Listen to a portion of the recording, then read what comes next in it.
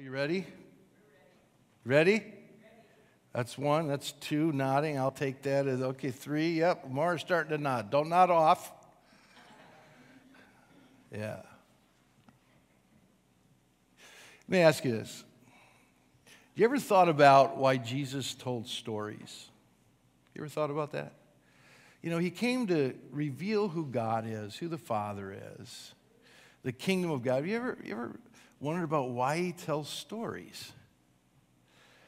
Um, I don't know if it's the way he created humanity or just, you know, our tendency or whatever it is, but, you know, I tend to remember stories best. How about you? You know, we're not all Bible quizzers in here. You know, they, they quote stuff and it's got an address. And they got to know the address. They got to know what book, what chapter, what verse, and they got to know the address.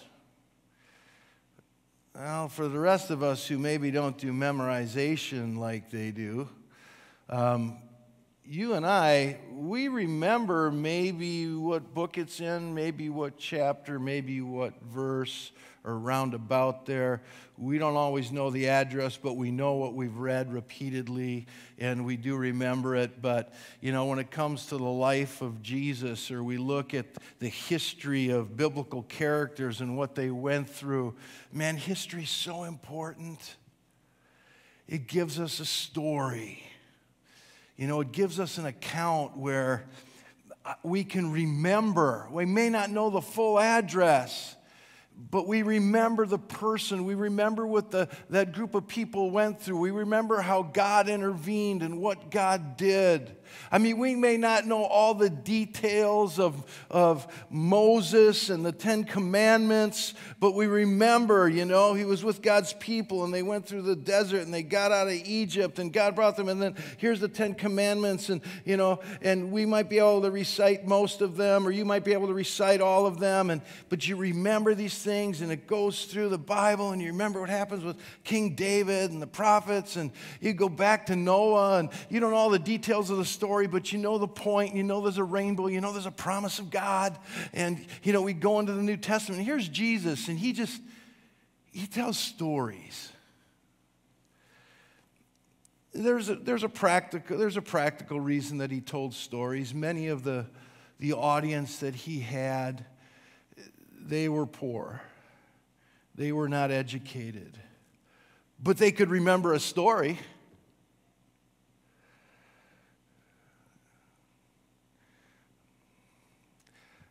I want you to know that it's really seldom for us to remember everything that everybody said. But you can tell a story about when you were with them. You remember that. You know what else you remember? You remember how you felt when you were around them. You remember that better. You remember that more than what they probably said to you. Oh, there's things we remember that they said. We can quote certain things that really impact us, but you, you can remember stories. You look at Jesus, and he was a great storyteller. And in his stories, he would tell you what the Father's like and what the kingdom of heaven is like. And then out of those stories, people got the understanding to, to know God better and, and how to live here in this hard life according to kingdom principles.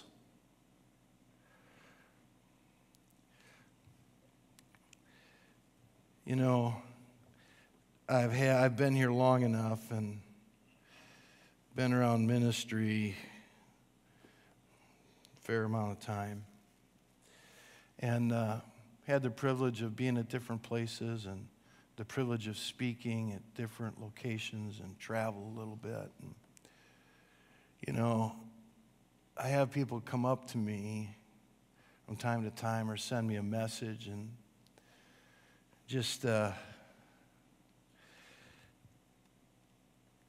they tell me, yeah, there's been this impact, but they couldn't remember like, you know, every message and everything I said but they could tell stories about that I told or stories of when we were together. And they remember that, and it impacts them. You ever, you ever get together with a friend you haven't seen maybe for a long time or talked with for a long time? I have some friends like that. There's a friend that, I don't know, every time we get together, and this is like years and years in between, I don't know what it is. We, we relive some college stories. It's the same stories every time we get together. But we still laugh. We still remember. We still value the friendship we had and the, those things that still keep us connected. Jesus told stories so people could remember. Causes us to remember what he did say and what the purpose or moral of the story is. Jesus was constantly saying, The kingdom of heaven is like this. And then he'd tell a story. They didn't all they didn't all have one of these. They were in current living history when some of this was going on. So grateful that God inspired by the Holy Spirit for people to write down these things and record these things. And we know it says books couldn't record all the things that Jesus did, just couldn't even contain it. I want you to know the importance of His Word the importance of the history, the story. Teach us how to live, teach us how to know God. There's a big move in our country to remove history. Maybe you've heard that in recent days. How sad to remove history but it's just the beginning step, possibly, of trying to remove this history. If they remove this, they come for this. Are you going to just be upset because you live in the United States and you have a constitutional right and you uh, a liberty and a religious freedom that you have? Are you going to just be upset politically? Let me ask you something. If they removed this right now or from your life, one, would you notice? In other words, I'd be upset politically if they took, took our Bibles and we can't have Bibles. But not having it, would there be any change in you? because maybe you don't read it now when you have it. So why not take it? You understand the point, right?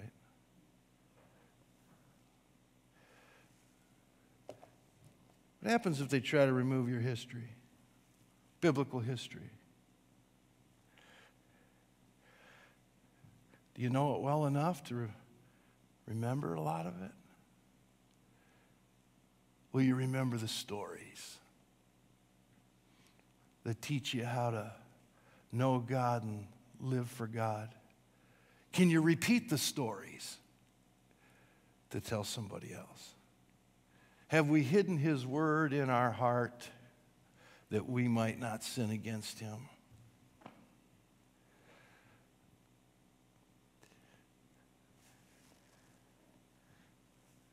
How much does His Word mean to you? I don't mean sentiment. I mean, Jesus holds the words of life. Where else are we going to go? Right? Right? So, so his disciples said. You know,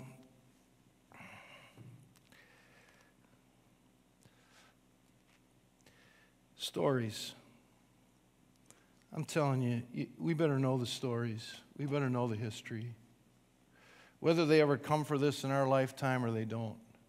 We know that His word shall never pass away. And it'll always bring fruit because it's living and active.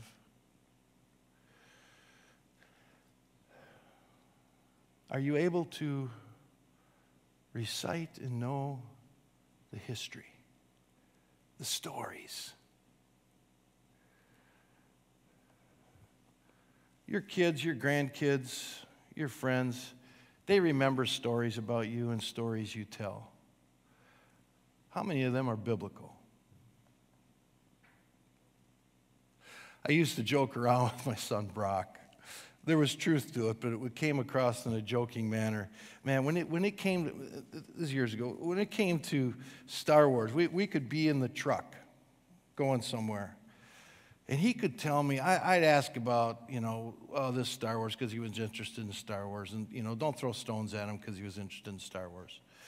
Okay, just you know, he, watched this Star Wars and watched this one, and then he knew what order they were in I, because my understanding is the order that they were made are not the actual order that they in. They jump back, and then there's other Star Wars stuff, and then some of it he calls as canon or what people call canon, but there's stuff that's not canon. I'm just like, whatever. And who's this person? Okay, well, yeah, okay. The white, the white uniform, those were stormtroopers, right? I mean, that's where I'm at. Real base level, okay? Um, it, you know, and we and then I, I would listen to him talk about this and all this knowledge he'd have about it. And I was just like kind of blown away. Like, I don't know, could you make a business about knowing all this stuff or whatever, you know? Man, you know so much of it. And then I said, okay, now, and I'd interrupt him. I said, okay, now walk me through the Bible. Let's start at the beginning. Uh, and you'd get a little ways, and then I'd have to say, well, you missed this part. I think this would be important to know. And, and so it turns to this great conversation because he could tell me all about Star Wars, but he couldn't walk me through the Old Testament and all the way through the New Testament. Kind of those points and who was then and now and what was the purpose and overall view. And we just it turned into a really fun thing because then I got to tell him stories and people and what God did and why I would mention them in the order as we read it through Scripture. I've told him a lot of stories, and he can tell you a lot of stories. He heard about me or been with me or but did I tell him any Bible stories that he would remember, that he could read, and why it was important?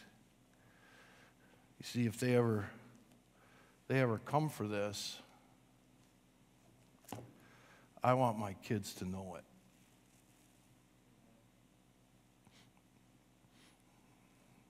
I love that I watching them pass it on to my grandkids. I get to see it. And not just in the stories, but the way that they live. Still growing in their faith, still making mistakes like the parents, grandparents do. But stories, stories are easy to remember. And Jesus told stories to reveal God and the kingdom of God. And I want you to know those stories. I want you to read those stories. I want them to become so impactful on your mind, your heart that in the middle of your day when you're out of cell service and you don't have your Bible handy, you're able to remember it. That you don't just have to Google it or thumb through the page, you, you know it. Still good for us to do that, but to not be robbed of His Word, that the words of life for us and the words of life that come out of us that go and they, they are seeds that fall on people. You know, I want to read to you from 2 Timothy chapter 3.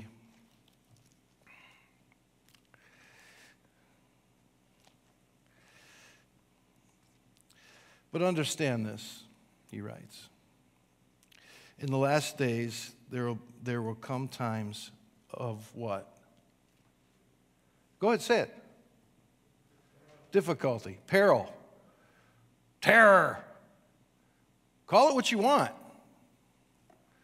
all kind of meaning the same thing. There's going to be times of difficulty. I've watched these times of difficulty in the recent year um, create a lot of worry, a lot of panic, a lot of tailspin for people for different reasons over the last year. I, I got, you know, and people, I mean, Christian people, just they're praying, they're asking God. Then it's like they didn't get their prayer answered, and we'll talk about all the prophecy wasn't fulfilled according to them and what they wanted and what they thought, and you know, and they just and it just consumes them and troubles them and you know what's going on? And they get so down and so so depressed and so enthralled with all of this. And i'm not saying we shouldn't care. Of course we care. But i don't i don't why are you surprised? I mean what i don't want to say what bible you've been reading but man what bible you've been reading.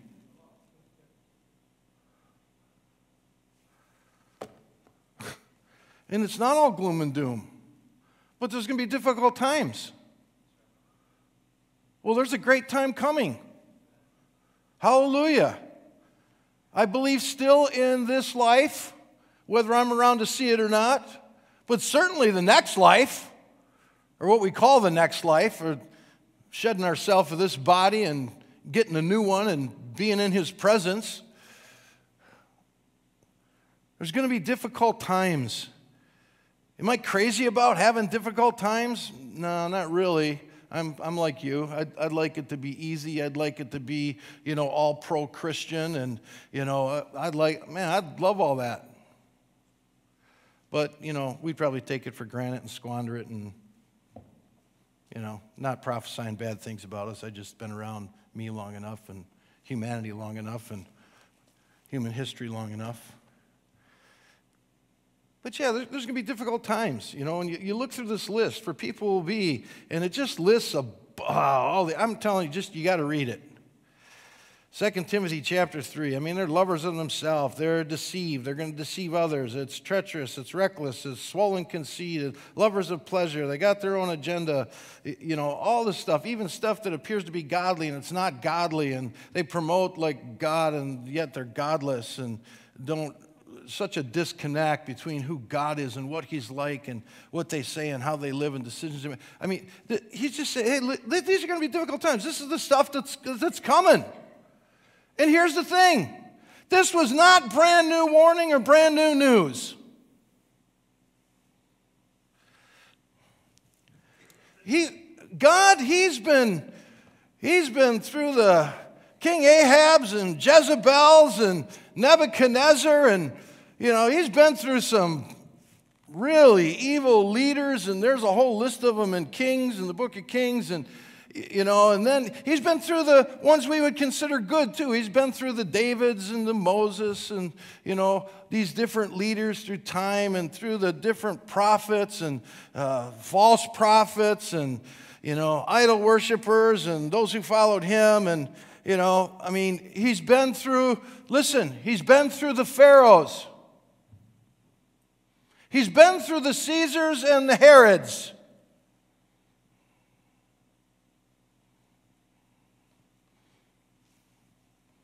What this country's going through, it's not new to him. And he has seen his people through.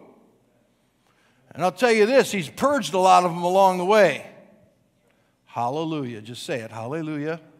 And it's not judgment on them, it's hallelujah for our own life. There's difficult times. He's been through this, he's dealt with these people, and I want you to grasp this purpose, this, this lesson. And we like good leaders. We like, you know, moral leaders. We like, you know, because we have faith in Christ. We like, you know, uh, Christian leaders, moral leaders, those who do right things and make good decisions. We, we like all of that. But I got to tell you, none of them are going to save you.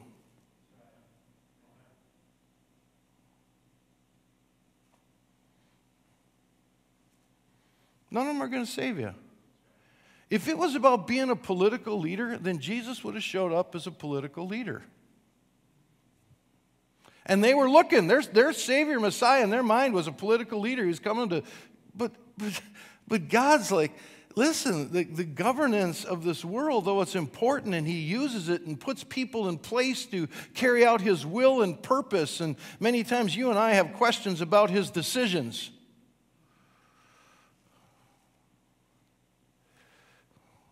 Like, weren't you listening to the prophecies?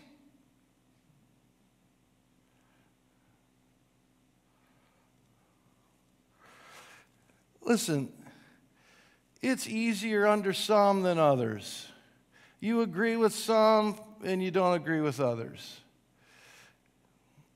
You agree with some of what they do and not what they do. Listen, there's only been one perfect person who ever walked the face of this earth, and his name is Jesus. And when he came, there was a bigger problem than just the temporary shifting politics of the world. He came to save those who were lost. We're talking eternal things. Some of it, it changes our temporary life. You know, this life we live is temporary. It's this life as we know it. You know, I don't know if anybody's told you, but unless you're around when the rapture comes, you're going to die.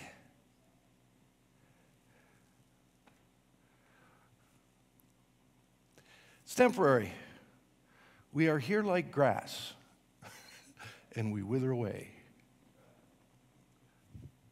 Right? This life matters, and it's valuable. And what we do here matters.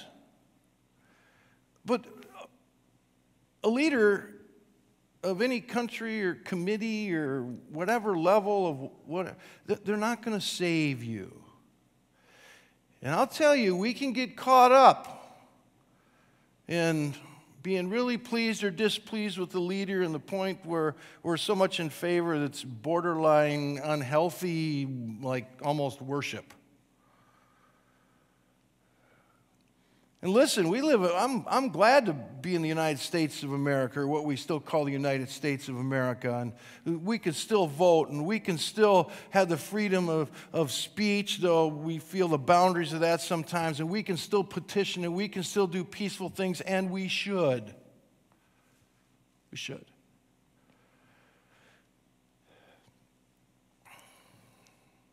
It matters. But understand that only Jesus saves, and He's got a way, way deeper, higher purpose than the troubles of the day that He has seen over and over again through time. You and I are so much on the clock, and yet He's the one that just holds time. There's a big difference now, this year, this week, this day, this month, this day, we're on the clock, man. God, He's He's time. Comes and goes before Him. Listen.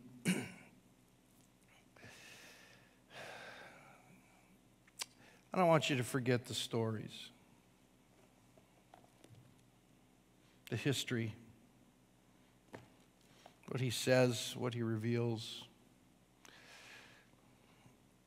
We're going to read through the rest, uh, we're going to get to the bottom of 2 Timothy 3 here in a moment, but before we do, you know, the times that we're living in, these, these kind of days, they're going to happen. And listen, you can blame the Republicans and you can blame the Democrats. In fact, a lot of you are, man, they're blaming the church. This is what we get. We haven't woke up, we're sleeping, we're sloppy, we're doing bad things, we're not following God, we don't pray enough, we don't. Well, did God tell you that?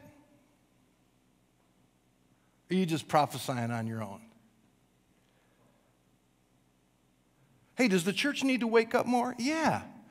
Do, do I need to probably pray more? Yeah. Do I probably need to memorize more? Yeah. How about you? Do you need to call on people more? Yeah. Do you need to share the gospel more? Yeah. Well, see, that's why this is all happening. Is that what God told you? Or are you just looking for someone to blame? He's looking for someone to blame.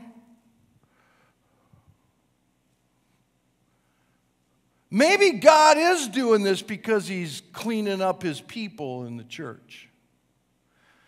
Maybe he's got some other global purpose to fulfill that you don't see, but I don't see. He hasn't told me. Frankly, I haven't asked him. We'll talk about that in a bit, too.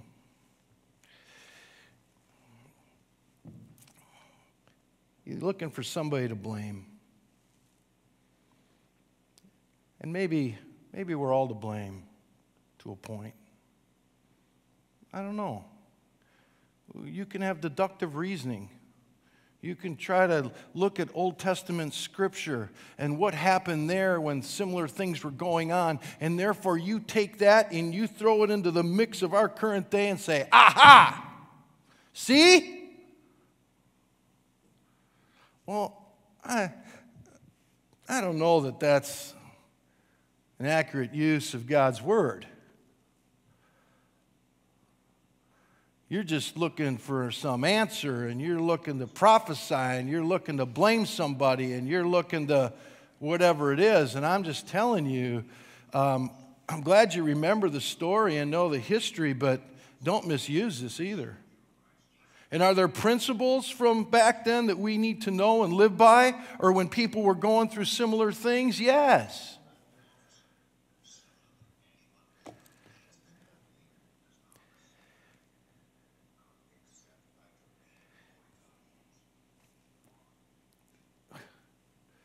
Is that JW? I want everyone to know. It's JW trying to man Marlene's phone. If you're in live stream, you maybe didn't hear it, but the phone was reading scripture to all of us. I think that was, I don't think it was a voicemail, was it? Okay. Listen, um, God's dealt with all this stuff before.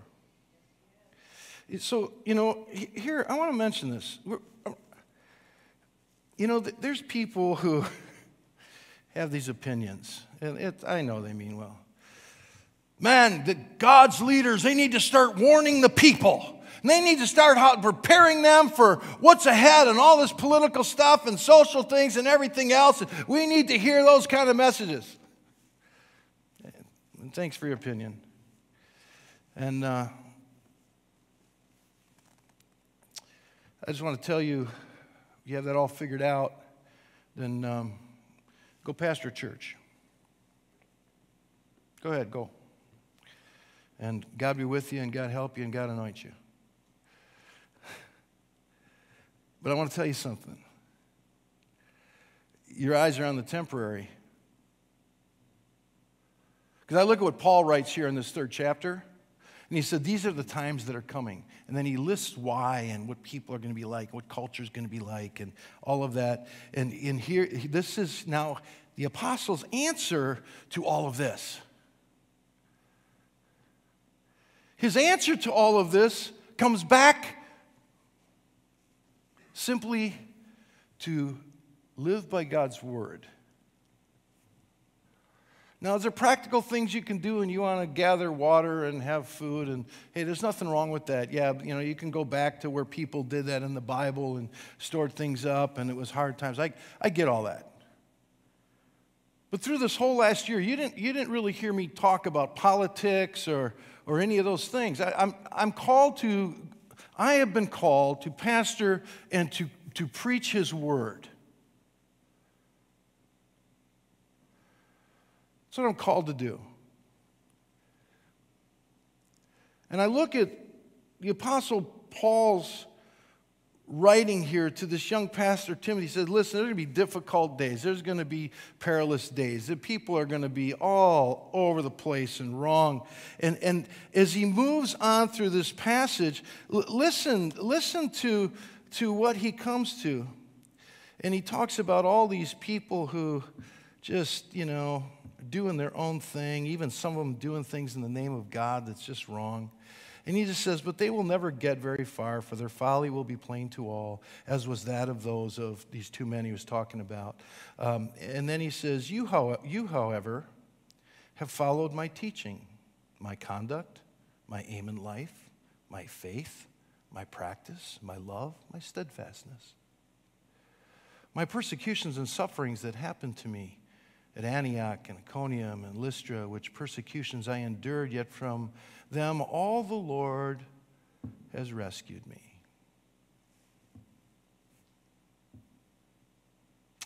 Indeed, all who desire to live a godly life in Christ Jesus will be persecuted. Do you hear that? Well, evil people and impostors will go on from bad to worse, deceiving and being deceived. But as for you, continue in what you have learned and have firmly believed, knowing from whom you have learned it, and how from childhood you have been acquainted, some of them from childhood, have been acquainted with the sacred writings which are able to make you wise for salvation through faith in Christ Jesus. All, now this is how his transition is. This is his answer to all the, hey, this is, there's difficult times to come. This is his answer. They're like, we need to warn the church. Listen, if you knew the word, you've been warned a long time ago. And you have the answer. Then, in the midst of difficult times and uncertainty and all this and unrest and whatever else, this is what we're supposed to know. All scripture is breathed out by God, which is profitable for teaching, for reproof, for correction, and for training in righteousness that the man of God, the person of God, may be competent, equipped for every good work. Difficult times are going to come and go. But we're supposed to be people who are stable, secure, because we know the stories. We know His Word, which is here to correct me and instruct me in everything in life how to know Him, how to live for Him. You know, I've watched some people really get all twisted up and turned around because they heard a lot of prophecies. And uh, let's just be real open and honest here. I heard a lot of prophecies about who was going to be our president. And you find a few on one side and you find a whole ton on the other. It depends on what you heard or who you listen to or whoever passes stuff on to you and all this. And, and a lot of the prophecies were about our previous president maintaining office. And then it's unfolded, it didn't happen, and whew, Oh, there's Christian people. They're just worried. They're twisted up. They don't know. They're ready to call them false prophets. The people who prophesied, some are apologizing, some are not. Some are figuring other stuff out. They're just so wrapped. It's like, oh, what happened?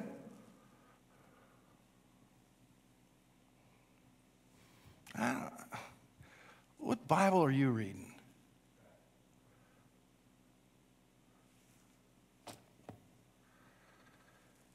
We're supposed to embrace prophecy but we're also supposed to evaluate it. This is Paul writes. Now, now I want to I wanna, I wanna pause here because if you just take all those who prophesied and it didn't turn out how they prophesied, and now you're like, well, I guess they're false prophets. Ah, hold on. You're, you're going to move out of bounds here, and I don't want you to move out of bounds. Come back.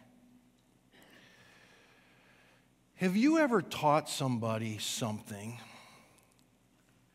based on what you knew at the time? And later, sometime later down the road, maybe it was a day, maybe it was a week, maybe it was years later, you look back and you think, you know, that wasn't quite right. Or that wasn't the full training or full teaching. Uh, I've changed my mind about things. I've learned some things. I've got greater revelation, better experience. How many of you have ever done something like that? You, you had to change your mind about what you taught or told somebody before. Come on, be honest. Raise your hand, please. You know, if you haven't had this, then I guess you're a perfect person because you have control of your tongue. God bless you. Be patient with the rest of us. There are things in my past that I have taught from His Word. Based upon the, the measure of study that I did and the measure of what I've learned and who I learned it from. And years later, I gained more understanding and went, ooh. Not that there was something terribly wrong or evil about what I said, but it wasn't really purely correct. Does that make you or I a false teacher?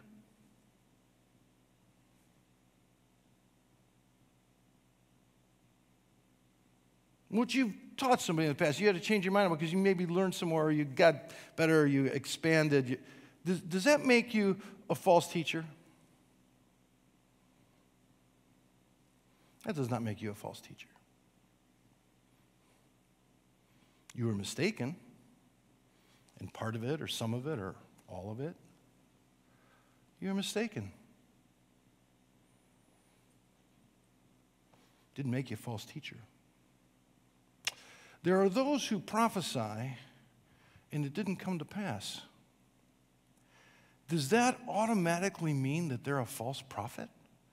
I wish this message could reach some of those people because they're probably condemning themselves. They're crawling in a closet. They're embarrassed. They're hurt. They're confused. They're in a tailspin, or they're trying to defend what they said now and twist it around or whatever.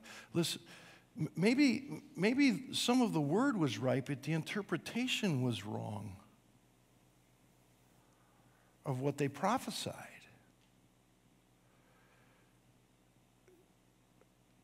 Have you ever said something that was true and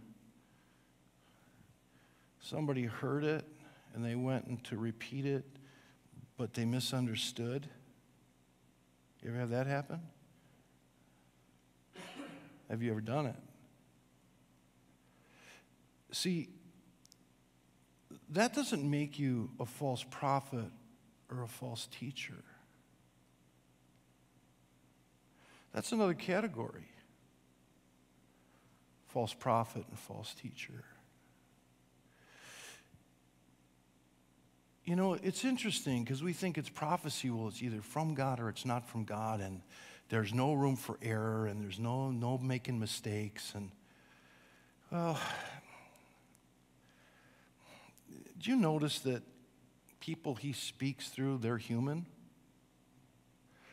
And the people who hear it, did you ever notice that they're human? Did you, did you know that there were prophecies that God legitimately gave to a prophet, and then what God spoke and intended didn't happen? Because it was a conditional prophecy? If they continue to do this, this is what I'm going to do. And then the people repent, and then that was never fulfilled. Does that make that prophet a false prophet? Listen, presumption plays a big part, and you can think, well, that's our word, that's not a biblical word. Really? Uh, I'm going to read you a little something from the Old Testament. It's in uh, Deuteronomy, and uh, I just want you to hear this. And all the people shall hear and fear. And they're talking about the prophecy that's given. Now, listen to this. And all the people shall hear and fear and not act presumptuously again. They acted presumptuously over a word that came from God or was prophesied. And they acted presumptuously. They interpreted presumptuously, or they prophesied presumptuously. Uh, I want you to hear this. That happens. It's why Paul says, test it, evaluate it. I, I want you to know that um, Nathan, uh, in 2 Samuel, he prophesies to David in 2 Samuel chapter 7, 3 through 5. He has to go back and correct the assurance that he gave David. He had to go back, he had to correct it. This is Nathan. He had, to, he had to go back.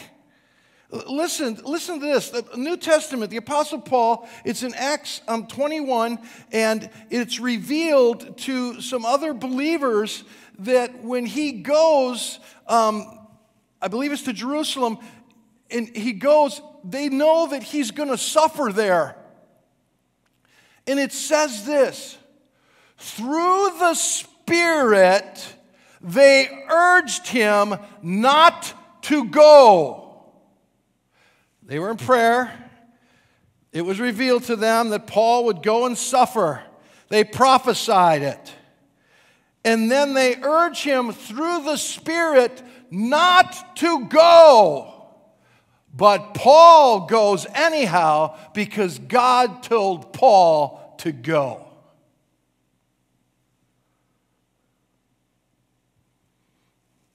This should be blowing your mind about prophecy. And your understanding of it and how it works and how people prophesy and say things. I, I gotta tell I gotta tell you this. This is this is just um, 1 Corinthians chapter 13, verse 9. It talks about we know in part. We know in this life in part. But a time will come when we shall see and know in fullness.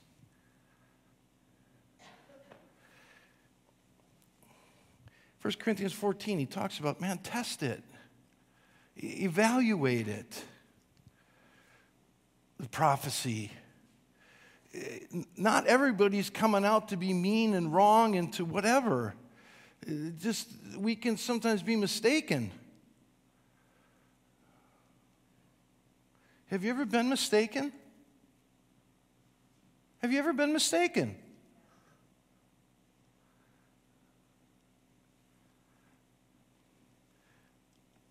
There's prophecy and it's powerful and it's a gift of the Spirit. And it's to edify us and it's to build us up. But I will tell you that not every prophecy is from the Lord. And part of it might be and then the human part kicks in and runs with some presumption on it. It happens. And yes, it's, it's embarrassing to us and embarrassing the body of Christ, and, and it can be embarrassing to, we feel like, to God and God's name. But just embrace the understanding that there are things that can be mistaken and we can be mistaken. And if we don't test and evaluate, eh, then we begin to do some things presumptuously. And we have done a lot of things presumptuously. Some of us have done some things presumptuously in what we call faith. Therefore, if I say it and I say it enough and I pray it enough, therefore it will happen.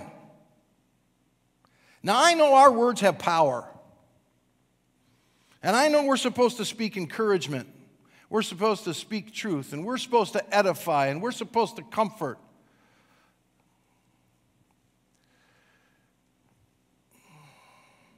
And we don't like to hear negative. And oh, don't affect the atmosphere with your negative talk. And I believe that there's an element of that that is very true. But I want you to know Lamentations chapter 3, verse 37. Just because we proclaim something or a person says something doesn't mean that it's going to happen unless God ordains it, the scripture says. So you and I can say things. We can mean well. We could try to, and if I just say this, if I just speak this out, if I just declare it, and, and then when it doesn't happen, we're people around here are like, what's going on? And they were a person of faith, and we all believed, and you know, oh, and, and we said it, you know, and we just kept saying it, and we kept proclaiming it. As if that obligates God to then ordain it. It's just not true. Stop it. You want to prophesy? Speak His word. Hang on to His word. There are promises there that we can take and we can pray and we can do this, but at the end of the day, if it does not come to pass or God does not ordain it, the problem is not with God. The problem might be with us. The problem might be sin. The problem might be uh, we're withholding something, we're hiding something. It could be a, a sin issue, it could be a lack of faith issue. But maybe God just did not ordain it. And now it sends us into this big tailspin oh, and we're, oh, we're all messed up, and oh, how could this be? And listen, what Bible you been reading? I believe in positive confession. I believe in proclaiming His word.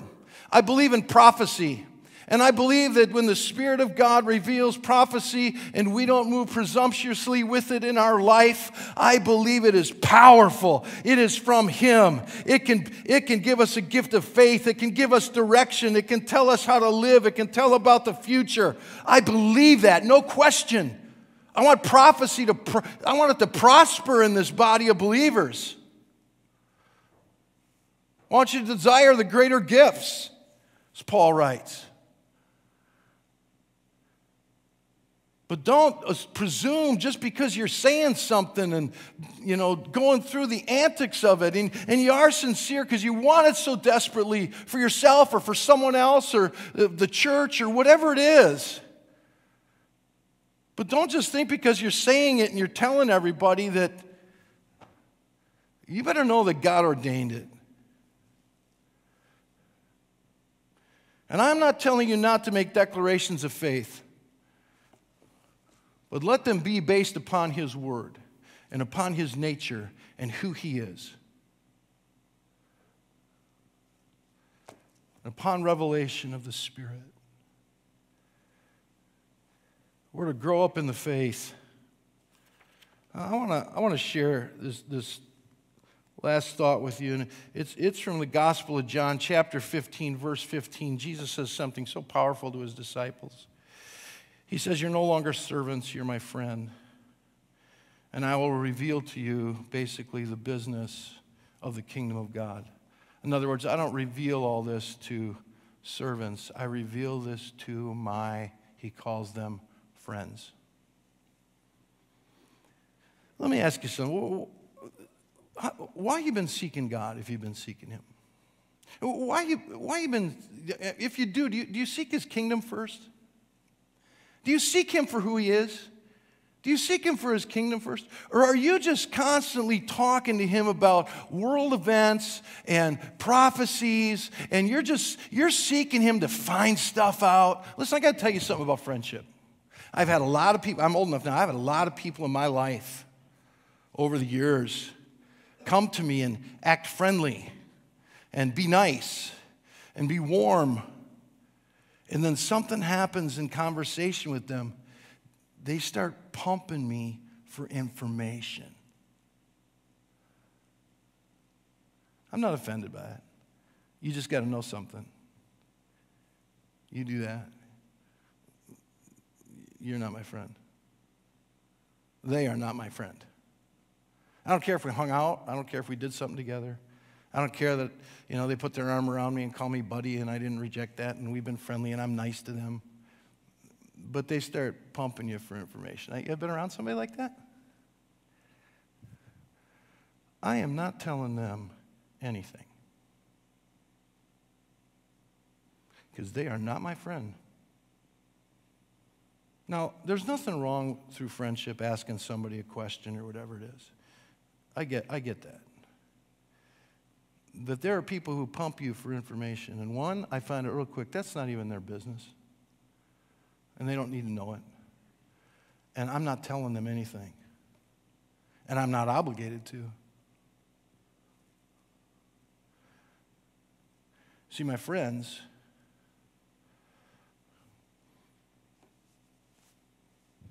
they seek me to be my friend. They can be a friend to me, and I can be a friend to them. We're friends. And you know what generally happens? They don't ask. I'm safe and secure in who they are, and if it's a, something that's appropriate, I'll share it with them. They don't have to ask because they're my friend. They're not there to pump me for information. Why have you been seeking God in recent days? You Just trying to pump him for information? Because he sees you coming from a long way off. Or are you seeking him because he's the Lord? And he's your lover. He's your master. Are you seeking him to be like him? Oh Lord, tell me what's going on. Oh, what's going on with America and the world and China and oh, the Oval Office and well, President, oh, and the prophecy, oh God. Now, I'm not saying we can't talk to him about that stuff, but, but listen to me. If that is what is driving us every day or most of the week, and we're just so wrapped up, listen, I got news for you. He ain't to tell you anything because you're not acting like a friend.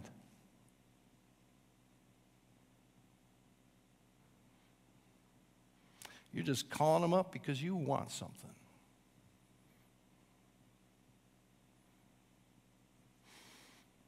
This is a call today to return to His Word and to know it and to live by it. And when difficult times come or difficult times cease, His Word is the foundation of our life.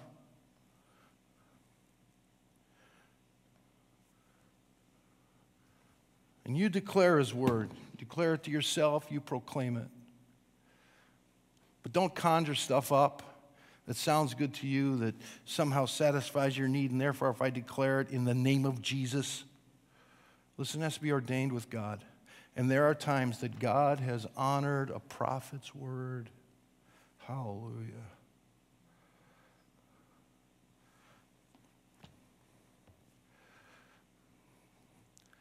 Listen, you are a part. It's being written today, it's being recorded today. You are a part of church history. And when they write this part of history, and if God tarries and they hear about it down the road, what will they hear about you? Me.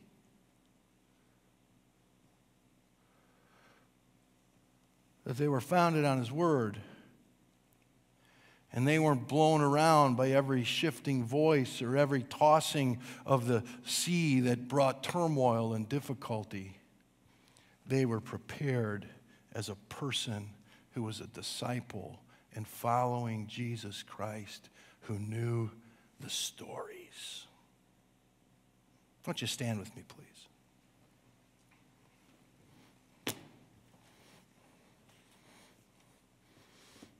Don't mistake in the tone this morning as if I'm mad at you, because I'm not. And I'll tell you what truth. I'm always looking here first.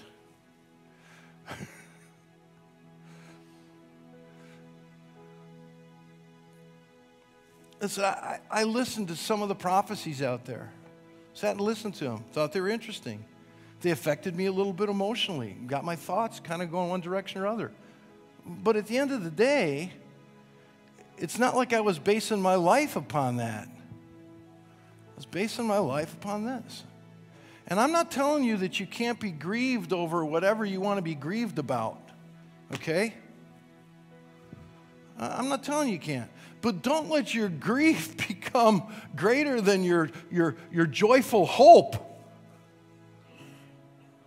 There, life, life in God is bigger than this life. And this life matters. And we should do our part as believers in this world. And we should do our part to exercise appropriately the rights that have been afforded us in this world, in this country.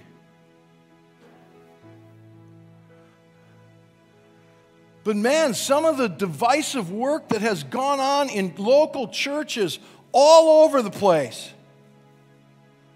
over some of the stuff we've been going through, and all of a sudden that stuff was more important than His Word?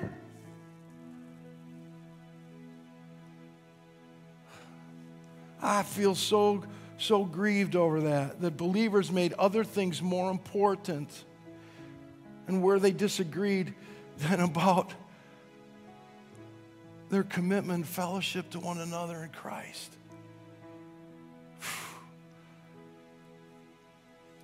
Man, they've gotten so deceived, arrogant, their opinion. Listen, there's things I grieve about.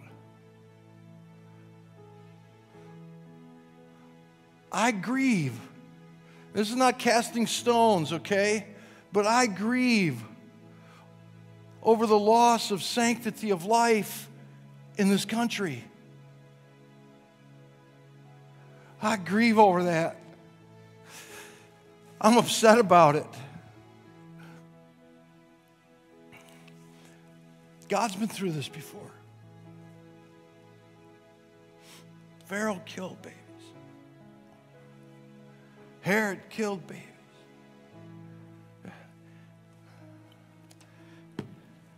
God is faithful and He's seen His people through.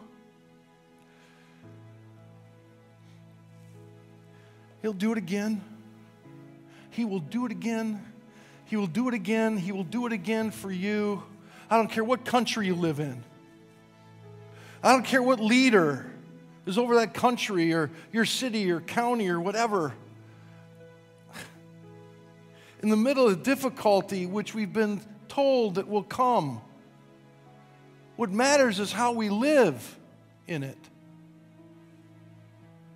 And if we get off track on all this other peripheral stuff, it's going to consume you. It's going to take you up and it's going to take you off the mark. Paul wrote about it in 2 Timothy chapter 3. Be difficult times, and this is why, and this is how people are conduct themselves. But at the end of the day, his word. Hold to the teaching, hold to the character, hold to the virtue of his word above all things. Don't manipulate his word to satisfy your agenda. We do that a lot, don't we? I want this verse and I want this verse because this is the outcome I want and this is what I really want. So therefore, I'm going to mm mm mm.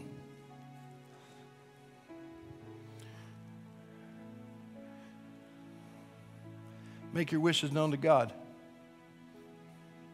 Work at being a friend of His. And He's probably going to start talking to you about his kingdom.